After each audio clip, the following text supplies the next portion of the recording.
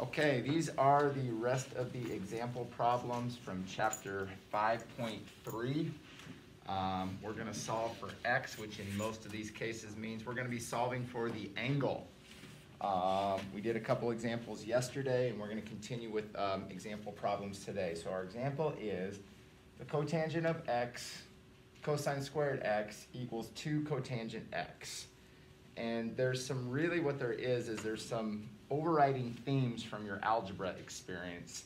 And when kids see this, they see, oh my gosh, I have all these letters, what am I gonna do with them? What you really have to do is kind of like boil it down to what it is. Like if you had, if you had, let's say, I don't know, five x squared um, equals two x. Five x squared equals two x. I mean, would you even know where to proceed to try to solve for x? And what I would do in a situation like this, I see a squared and an x, I would set it equal to zero, and then maybe use the quadratic formula, or maybe factor it, or maybe do something like that. So when you look at these equations, don't see the tangents and the cotangents. Think about them as like variables. Like I have these, these, this is like an entire variable. So I'm really, what I'm gonna do is I'm gonna treat these in that fashion and then maybe use some trig functions to try to solve them out. So the first thing I wanna do, I'm gonna set it equal to zero. So I got cotangent x, cosine squared x, minus two cotangent x equals zero. I've set it equal to zero. I kind of grouped all these together. Okay, major thing to be able to do to these is factor them. What factoring technique would you use with cotangent x cosine squared x minus 2 cotangent x? What's that? Pull out cotangent. So what he just said is GCF factor. I'm going to pull out a cotangent. So cotangent is going to come out in front. Cotangent is going to come out in front. So I got cotangent x, cotangent x out in front. I have cosine squared x minus 2 cotangent cosine squared x minus 2, yep, equals 0. And I'm off and running with it. So I got it to there. Okay? When you're in algebra, and this doesn't fall from this, but when you're in algebra and you have something like this, x times x minus 1 equals 0, there's a thing called the zero product rule where you set the first part equal to 0 and solve, and you take the second part, set it equal to 0 and solve. So when we were in algebra, we did something like this and then we got it down to x is 0 or x is 1. That's the corresponding algebra for this. We want to set each one of these, called the zero product rule, we're going to set this factor equal to 0, we're going to set this factor equal to 0, and then we're going to solve it out. So I got cotangent x equals 0, and I got cosine squared x minus 2 equals 0, and then I'm just solving. This one is easy. I got to find where the cotangent is 0. This one, not so easy. I got cosine squared x equals 2. I add the 2 to both sides, and I'll square root it. I get cosine x equals plus or minus radical 2.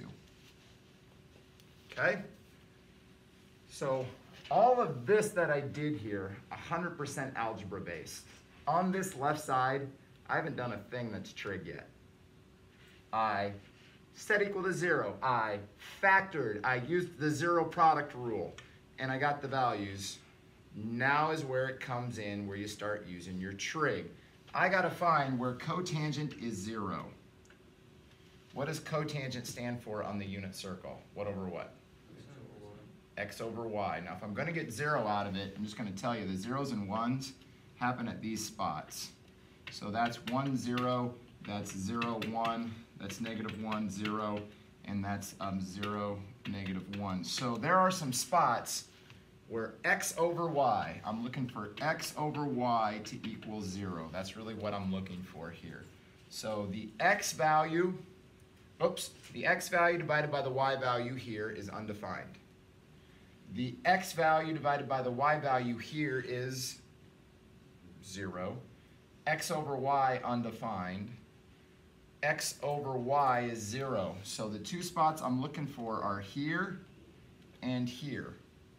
Okay, so one of my answers is pi over 2, and another answer is 3 pi over 2, plus 2 pi n. plus 2 pi n. So I got it to there, and that's what it looks like. Okay? Questions on this one right here, on where I got those? I mean, you got to get it down to there, and it's got to look like that. Okay, see if you remember this from yesterday. Your Canvas quiz is going to morph those two answers. Why? Yes. Um, because they add up to 180. They lie in a straight line. Let's go to morph them. If you wrote these, you'd get 100%. Your Canvas quiz is going to morph them together into pi over 2 plus 2 pi n. I will take that. Your Canvas quiz will morph them into that. This is fine on your final.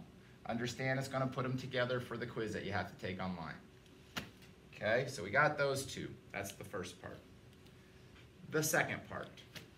We've done this. Now we need to do this. I'm gonna go ahead and I'm gonna erase this of this stuff up here.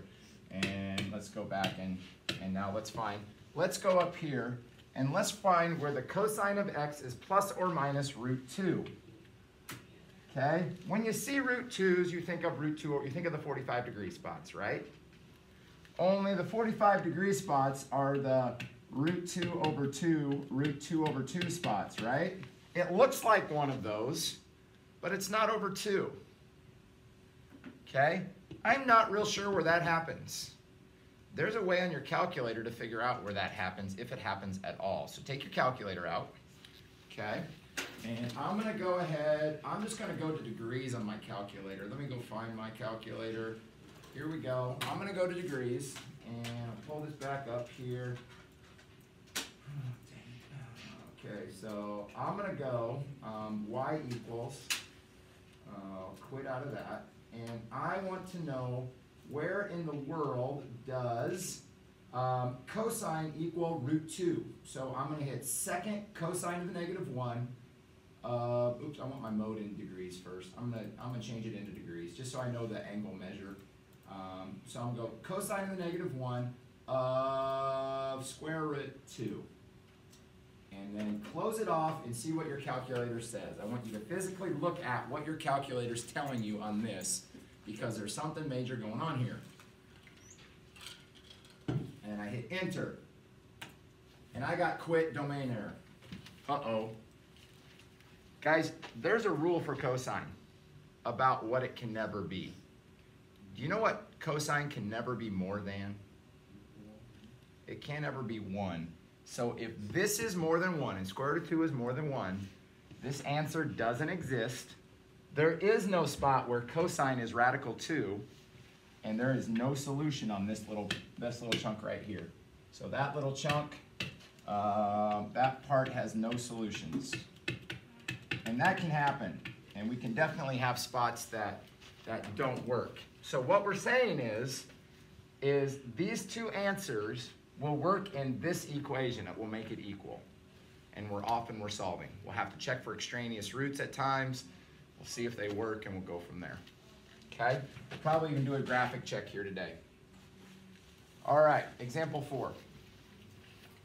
We have 2 sine squared x minus sine x minus 1. What does it look like from algebra, from algebra 2? What in the world does that thing look like? x what? Looks like x squared, mi- uh, looks like 2x squared uh, minus x minus 1. Looks like a trinomial, doesn't it? Does it look like a trinomial to you? Forget about sine squared x, think about it as x. So we're going to factor this thing into two binomials. Trinomials, two binomials. So here we go. We'll go one. I don't even think I need to, uh, I don't even think I need to do the x-wing thing. I think I can go right to the right to the thing. So here we go.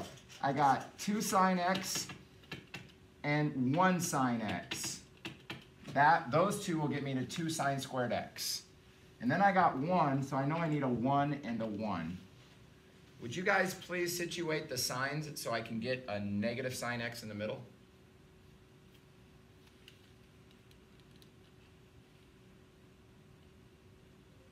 What, what? Positive, negative, minus. Positive, negative, negative, positive, negative. You think it's positive, negative? Okay, let's try it. Let's try positive, negative. Let's see if it works. Okay? 2 sine squared x minus 2 sine x plus 1 sine x. What's minus 2 sine plus 1 sine? Minus sine. Good job. And then these two give me negative 1. So I factored it correctly. I got it to where uh, the factor need to. Now I'm going to use the zero product rule. This is equal to 0. This is equal to 0. So we got 2 sine x equals, oh, sorry, 2 sine x plus 1. 2 sine x plus 1 equals 0. And sine x minus 1 equals 0. So those are the two things I need to solve out. Okay? Um, I don't know where you're at your unit circle. I, I don't know if you guys are good at it or what. I, I mean, if you have it out, it's probably a good aid on this stuff. You could probably rip them off a lot faster than, than without, but it, it's kind of up to you. So I'll minus 1 and divide by 2. So I get sine x is equal to negative 1 half. Minus 1 and I divided by 2 in my head. And then here I got sine x equals 1 so I gotta find the values where sine is negative one half and where sine is one. And those are two spots on the unit circle. So here we go. Let's see if we can get these spots right here. Um, sine is y. So I'm looking for where the y value is negative one half. Do you know what quadrants we're in? Three and four. Sine is negative down here. So y is negative down. So I'm thinking I'm coming off at this 30 degree angle here and that 30 degree reference angle there. Those are the two spots I'm thinking of. Okay, let's think about it now. Root 3 over 2 down a half. So that's root 3 over 2 down 1 half. Sine is y, the y value is negative 1 half. So I found one there, that's good. Um, here I got this one at root 3 over 2. Oops, that's negative root 3 over 2 by the way. Uh, root 3 over 2 to the right and down a half. That's negative sign right there. Um, so I got that one. Hey, do you think the Canvas quiz can morph those two together? They cannot. They're not 180 degrees away from each other. They cannot morph those two away. So here we go. Uh, 1 pi over 6, 2 pi over 6, 3 pi over 6, 4 pi over 6, 5 pi over 6, 6 pi over 6. That spot right there is 7 pi over 6 plus 2 pi n. There's one answer. 7 pi over 6, 8 pi over 6, 9 pi over 6, 10 pi over 6, 11 pi over 6, plus 2 pi n. There's another answer. There's an answer. So I got two answers so far. Let's see if there's more. Sine x equals 1.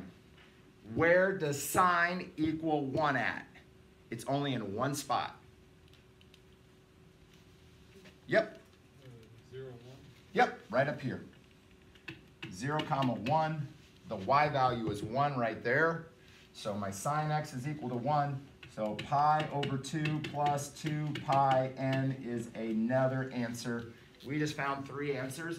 Let's go verify these three answers on our graphing calculators. Please do this. Please take out your graphing calculators. Please plug in buttons with me and let's go. So I'm gonna plug in this whole jazz here, that whole thing. So I'm gonna go to y equals, I'm even gonna change my window on this. y equals, oh, clear, get out of that. All right, so I'm gonna clear off what I had from yesterday, and I'm gonna type in two sine squared x, and it's gotta go like this, two parentheses, sine x and squared, and it is a little different order than what they have here, but that's how you input it. Two sine x, close off the parentheses squared, minus sine x, I'll close that one off, and then minus one. Okay, and I want, uh, I'm gonna set up my window, and I'm gonna set up my window specific to this problem. Okay, so I'm gonna go from negative pi, negative pi, um, and I'm gonna go to four pi for my window. And then my x scale, I'm gonna change it to something I rarely use. And it's because of this problem that I'm changing it to something I rarely use. I'm gonna change it to pi over six. Oops, pi over six is gonna be my scale. I don't mind my mins, negative five to five, and that's, that's what I got. Negative five to five, and my scale is one. And then I'm gonna hit the graph key, and it's, oh, I forgot to hit the mode radians, my bad. I have to go change my mode into radians, or it's not gonna work. So let's try this again. Mode back to radians, boom. And now let's try this graph again. Okay, I got that. Oh, that's kind of funky. Uh-huh. you got it got all it got all wonky because of that square. It's still a wave, but it got all wonky because of that. Can anybody tell me what they think this little dot right here is? Guesses. I'm going to tell you that dot appears somewhere over here. Yes. Is it seven pi over? Nope, that one is not 7 pi over 6. It is not 1. It's actually covered up on my board. What? Pi over two. It's pi over 2. Why? Because it went, I went by pi over 6 is 1 pi over 6, 2 pi over 6. What is 3 pi over 6? That's pi over 2. Oh, cool beans. Okay, what's that one?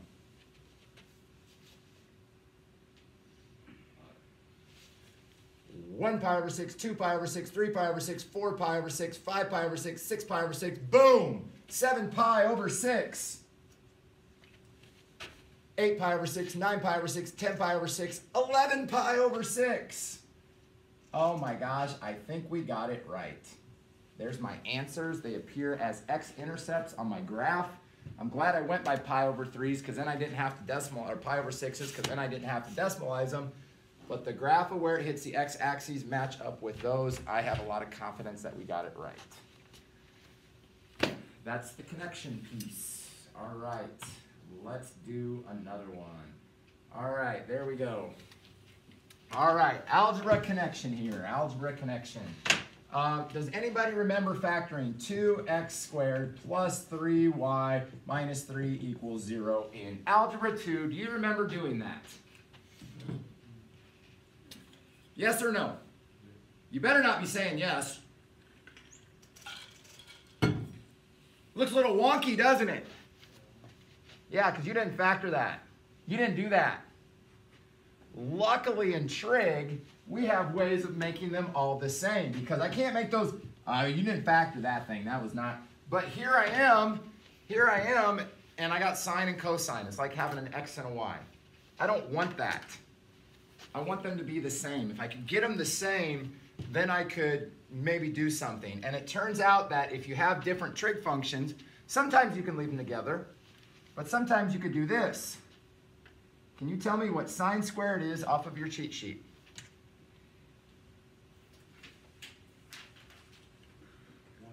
One minus cosine squared. Oh, look at that. I just made them the same. I just made them the same. Now I can do my algebra. Now I can do my math. I can get there. So I'm gonna do some distributing. I'm gonna do some, so that was a trig step. Definitely a trig step on that one.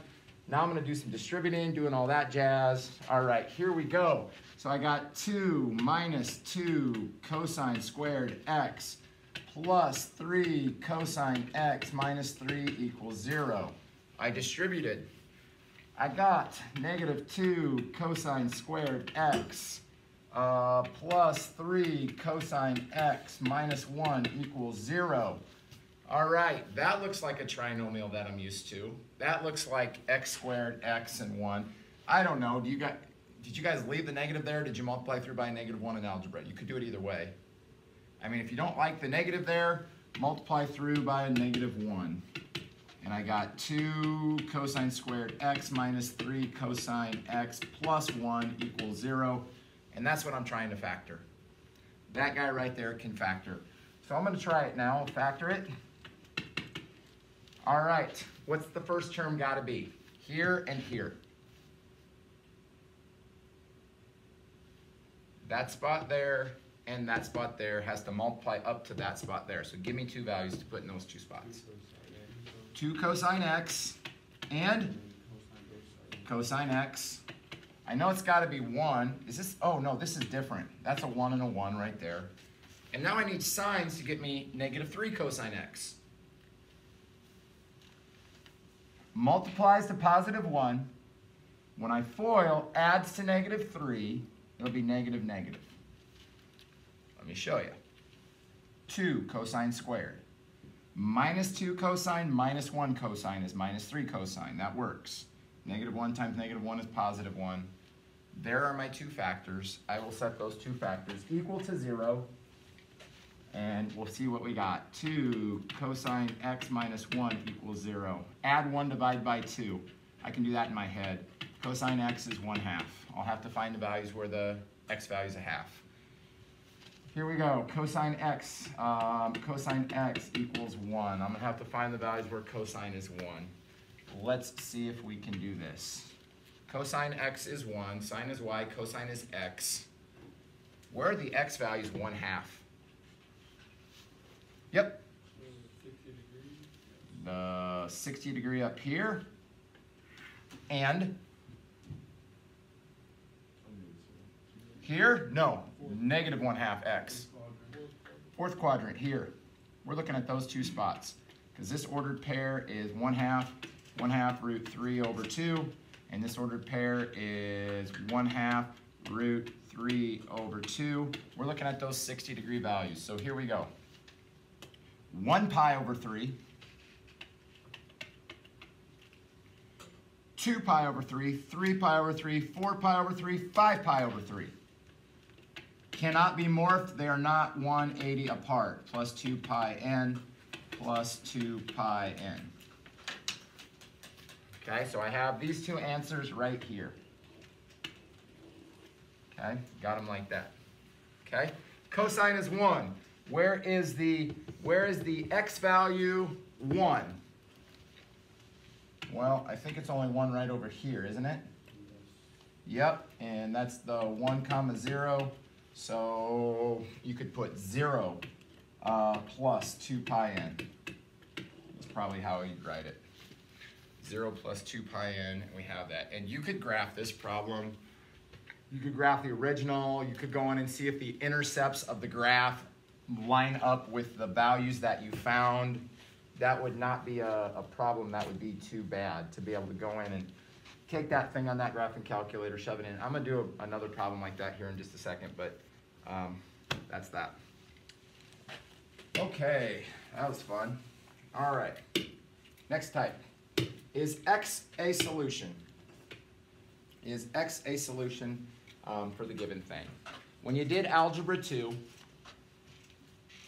what did you do when you asked your question, does this thing, is this a solution of this? What was, what was the process that you did?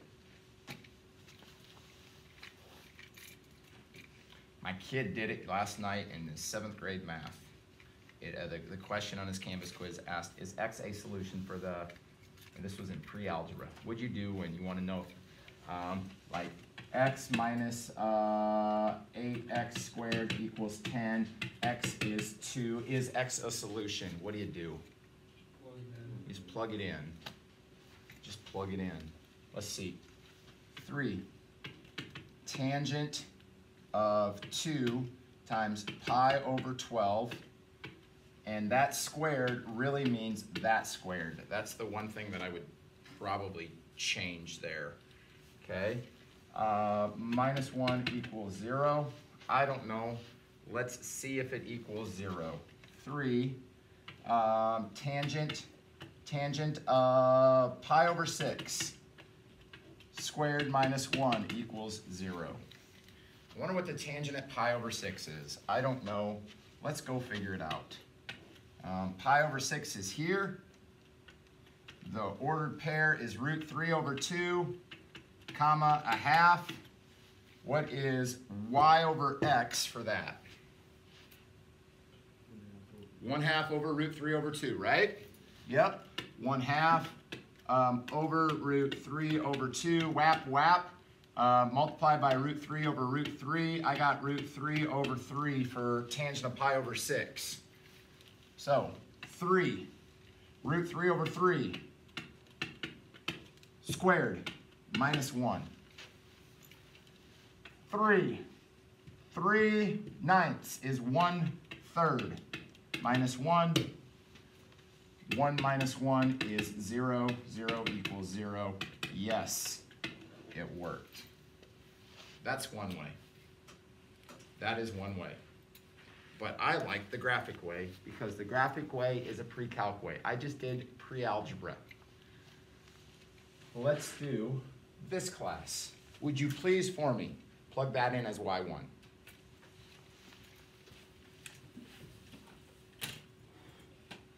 Here we go, on Y, I'm gonna plug that guy in, clear that off.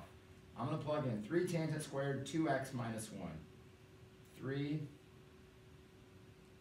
I'm gonna parenthesize this, and I'm gonna go tangent of two x, and I'm gonna close it, close it, square it. Close it, close it, square it, minus one. Enter. I'm gonna go to my window. Uh, my scale on the window, looky here. You see this guy right here? I'm gonna change my scale to pi over three. And if I'm right, if this is a solution, it should hit on the fifth tick mark if I go by pi over three. I don't know if it's going to or not. Enter graph. There's the funky picture. Oh, I can't even see. Oh, what a bad. Oh my gosh. Fifth tick mark. One, two, three, four, five. I don't think it hits at the fifth tick mark there, but I can't tell. I should probably go one, two, three, four, five. I'm gonna go out to that fifth tick mark, and I'm gonna see if that graph hits on the. Ooh, I'm already out there. Let me see. One, two, three, four, five. Ooh, I'm almost on the fifth tick mark. I'm gonna zoom in one time, and I'm gonna see if it hits on that fifth tick mark. Should be right there. It should. Nope, it doesn't. Um, five pi over three is not a solution. Not a solution. So I guess the gist of this is you can physically plug in a number. Heck, I could do this three ways. I could solve it out and figure out what my answers are. I could physically take the thing and plug it in and do the math. I could graph it and see if it hits at the right spot. Those are ways to find out if it's a solution or not. All right, fun, fun. Last three problems of the semester. Here we go. Solve over 0 to 2 pi and verify your answers are solutions. So we're going to take 2 cosine 3t minus 1. We're going to solve it from 0 to 2 pi. And be very um, careful when you do these. Um, when you do these on your test too, look at the bracket and that. So let me say, let me ask you this. Let's say, let's say the solution said said that. That was one of your answers. Are you going to pick 0 or are you going to pick 2 pi if you got that for a dot where it should be? 0, 2 pi. Include the 0, don't include the 2 pi. If that's a dot, your answer is 0 in that. Okay? So let's go do this now. All right, first thing that's different about this problem, there's a little 3 in there. Haven't done that yet. I'm going to replace this whole thing. I'm going to rewrite it. When you got a 3 or a 2 or a 1 half or whatever in that spot, you're going to rewrite it as cosine of theta, not 3t, minus 1 equals 0. I want everybody to do this math and tell me where they think cosine is right now. Add 1, divide by 2, figure out where cosine is a half. Do it, please. And then I'll show you what to do after that. I'm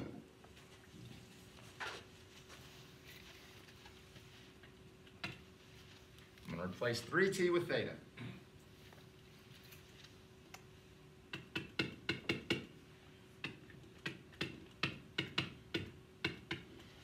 Where's cosine a half at? Yeah, we just did them, right? Just did it. It's here and here. Cosine's a half there and a half there. So cosine theta um, is a half at pi, uh, uh, pi over 3, and it's a half at, what was this, 5 pi over 3? We know that. Except there's a 3t there, and we just solved for theta. What does theta equal? Theta equals 3t. So I'm going to set pi over 3 equal to 3t. And I'm going to solve it out for the t now. I'll multiply by the one-third, and my t-value is pi over 9. That's one answer. This also equals 3t. So I'm going to set this theta value equal to 3t. If there's a number attached, attached to that thing, this is the process you have to do. We're going to do another one like it here in just a second. I'm going to multiply by a third, and my t value is 5 pi over 9. 5 pi over 9. And I got the answers that I'm looking for. Pi over 9 and 5 pi over 9.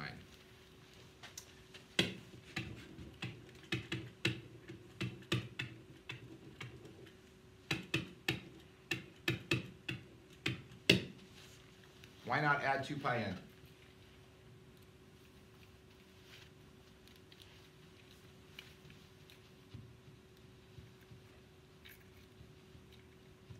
Anybody? I'm not adding it to that. Yeah. Because the parentheses restrict how far it can go. Directions. Directions said solve 0 to 2 pi. They didn't say solve forever. It restricted the answers down. I don't need to think about all the possible rotations because that's what it said. Good job. The parentheses said restrict your answer down. Okay? If it says solve the 0 to 2 pi, you don't have to add on the 2 pi in. All right, two more problems. Here we go. This one says different. This one says solve over 0 to 360. If it says that, it wants your answer in degrees rather than radians. So rather than answering like pi over 3 on this one, I'm going to answer it like 60 degrees or 45 degrees or something. So this one says 3 tangent x over 2 plus 3. Really what it is, is it's 3 tangent of 1 half x plus 3 equals 0. That's what I'm solving. But I'm not going to leave that 1 half x in there. I'm going to make it a theta. 3 tangent of theta plus 3 equals 0. And I'm going to solve that guy out. I'm going to move the 3. I'm going to divide by 3. I'm going to find the theta values where, where, that, where tangent is 1. I'm going to do all that stuff. Okay? So that, look, 1 half x is the theta value. Solve for theta, set that theta equal to the 1 half x. So here we go. Minus 3, 3 tan theta equals negative 3. Divide by 3, tan theta equals negative 1. All right. Do you know where tangent values are negative 1? Tangent is y over x. Where does the y value divided by x value equal negative 1? Yes. Forty-five degrees. 45 degrees, which one? All students take calculus, it's negative, so second and fourth quadrant. It's that one, and it's that one. You're right, it's the 45 degree values. Okay, so that 45 degree value right there is what, 135 degrees? And we said we were in degrees. And I think this one is 315, isn't it? 315 degrees and 135 degrees. I think those are right. Okay, but that's theta, and I only need half a theta. So here's what I'm going to do. I'm going to set 135 equal to 1 half of theta. Okay, I'll multiply by 2. And I get my theta value is 135 divided by 2. Or times 2, because I'm multiplying by the reciprocal. What's 135 times 2? Two seventy. 270? Is that right? Is that right? Zero, yeah, 270, 270 degrees. Okay, and now I'm going to set 315 equal to 1 half theta. And I'm going to multiply both sides by 2, by 2, and I get my theta value is equal to 315 times 2 is 660. Yes? Thirty, thirty. Or 630 degrees. So, so, so, yoink, yoink. Yes, got it. Why? Oh, because my restrictions say I can only go up to 360. So within this restriction set, the only answer that will work is 270. Bam. Fun. Hard. A lot of culmination of a lot of things here. All right, last problem. Solve over to 0 to 2 pi and verify your answers are solutions. Last problem here. And by the way, you could go on and you could graph these again and you could look at the intercepts and see if they hit. Cosine x plus sine x tangent x. Um, they're not all the same. I would probably like to try to get them to sines and cosines first. So I got cosine x plus sine x tangent is sine x all over cosine x equals 2. Um, I'm, I got five minutes left, so I'm gonna, I'm gonna kind of do this, this the uh, Reader's Digest, the, the abbreviated version of this. Um, I want common denominators. I'm gonna multiply this one by cosine x all over cosine x. I got cosine squared x plus sine squared x on top all over cosine x equals 2. You know what I did? I got 1 all over cosine x equals 2. Do you know what I did? Oh, look at that. 1. Okay, I'm going to use a reciprocal property. Yes, it's a secant. It is a secant, but I'm going to do a deal where I just flip them both. So I got to cosine x is 1 half. I think this is the third time today we've done cosine x is equal to half, isn't it? Is that right? So it's at 60 degrees here and at 60 degrees there. It did say solve, solve over 0 to 2 pi. So um, that one right there, that value is pi over 6. I don't need plus 2 pi in. And this one right here I think is, no, no, no, pi, oh, let's try it again. Pi over 3 and 5 pi over 3 are my two answers. They are both fit within the restriction 0 to 2 pi. And that's it. That's the end of semester one. Fun, fun, fun. If you need to go back and uh, uh, review these, I'm going to post these on my YouTube channel. My YouTube channel is just um, Ken Kulus, if you ever wanted to go. There's actually a lot of math videos on that YouTube channel. Um, I think I have all of 72 subscribers or something like that, so I'm kind of big league. Um, and you guys can go watch those and, and, and see what you got. So Canvas quiz 5.3. Um, that's, that's due before the end of the semester. And then we have a, a, a final that will be the chapter test and, and this stuff will be on it. So we'll practice more of this next Monday and Tuesday. All right.